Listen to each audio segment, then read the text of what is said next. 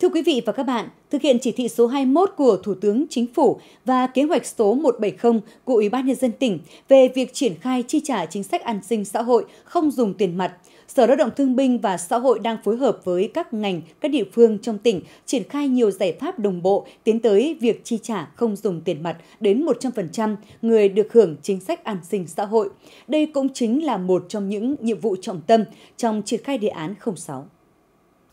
Ông Vũ Văn Khá, khu phố An Bình là một trong hơn 400 đối tượng của phường An Tảo, thành phố Hưng Yên,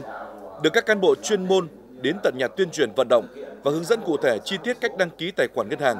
Với chủ trương thực hiện chi trả chính sách an sinh xã hội không dùng tiền mặt, ông Khá rất phấn khởi và đồng thuận cao. Hàng tháng của giao biêu điện nhận,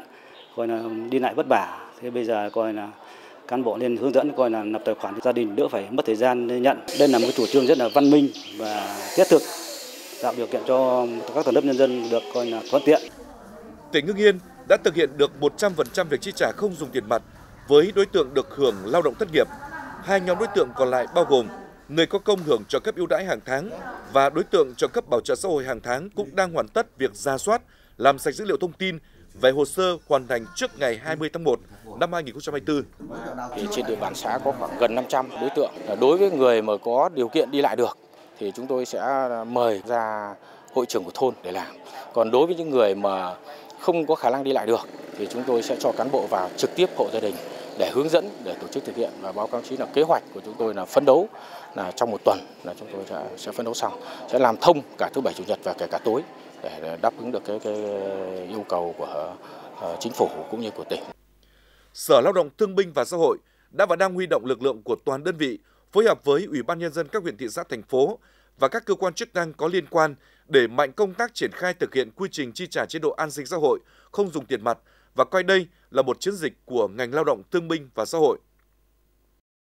Chúng tôi đã chiết xuất từ cái danh sách chi trả trợ cấp hàng tháng, à, giả soát và làm sạch dữ liệu. Ví dụ những đối tượng mà hưởng đồng thời nhiều chế độ thì chúng tôi dồn vào một dòng vì là à, nó theo căn cước, mỗi người chỉ có một số căn cước. Sau đó là những đối tượng là chúng tôi là là là, là chiết xuất theo là từng huyện, trong huyện thì theo từng xã và trong xã thì theo thứ tự từng đối tượng.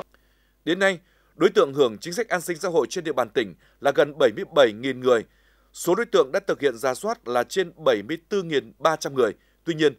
số có tài khoản là trên 3.000 người.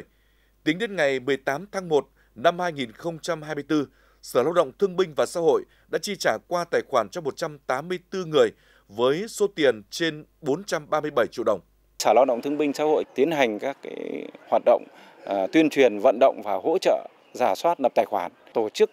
à, các cái đoàn công tác để đi xuống các địa phương đôn đốc kiểm tra hướng dẫn nắm tình hình từ nay đến Tết Nguyên đán thì thì phấn đấu à, theo chỉ đạo của tỉnh là đạt đến 70% các đối tượng là được hướng dẫn à, giả soát và lập tài khoản và đạt chỉ tiêu 50% Ờ, số đã có tài khoản được chi trả qua tài khoản ngân hàng. Để việc triển khai chi trả chính sách an sinh xã hội không dùng tiền mặt đạt kết quả cao, bên cạnh sự vào cuộc quyết liệt của các cấp các ngành, rất cần sự chung sức đồng lòng của người dân trong việc thay đổi nhận thức, thực hiện chủ trương của chính phủ và địa phương.